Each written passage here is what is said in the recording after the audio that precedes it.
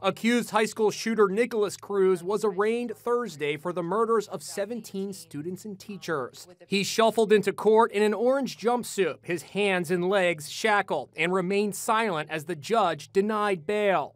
You're going to be held without bond until further order of the court.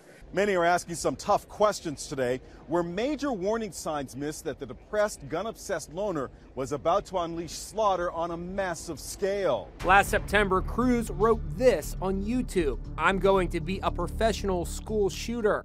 I knew that I couldn't just ignore that. Ben so, Bennight, a bail bondsman from Mississippi, the spotted the comment. He took a screenshot and sent it to the FBI. The next day, I had two FBI agents standing in my office. Today, the FBI confirms agents tried but were not able to locate Cruz. The FBI conducted database reviews, checks, but was, un was unable to further identify the person who actually made the comment. Cruz also left other disturbing posts on social media. I want to shoot people with my AR 15.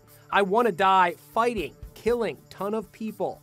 He was expelled from the high school last year for fighting, and on St. Valentine's Day, he returned, armed with the AR 15 assault rifle he bragged about. The terror experienced by the students is evident from the video they recorded as the massacre unfolded.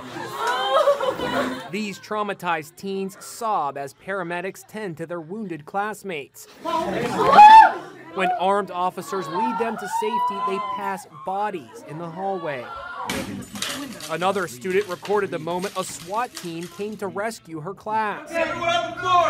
Everyone on the floor! David Hogg, the student news director for the school's TV channel, recorded everything as he hid under his desk. And we initially thought it was a drill, so we were all taking our time. We heard more gunshots.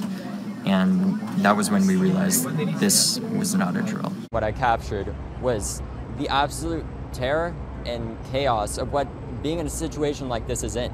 A situation that none of us should ever be in. Let's go, let's go, let's go! Run, run, run! Cruz escaped by joining in with fleeing students. White male, burgundy shirt, wearing a black hat, and either long black pants or shorts. He mixed in with a group of students that were running westbound. To blend in, he wore a junior ROTC burgundy t-shirt because he knew the ROTC kids wore their shirts on Wednesdays. He fled the school towards the town of Coral Springs. He made it about a mile before he was spotted by cops and taken down. His arrest was caught on cell phone by a motorist. Cruz didn't resist as he was cuffed and loaded into a police cruiser. Now, all of America is wondering if he could have been stopped.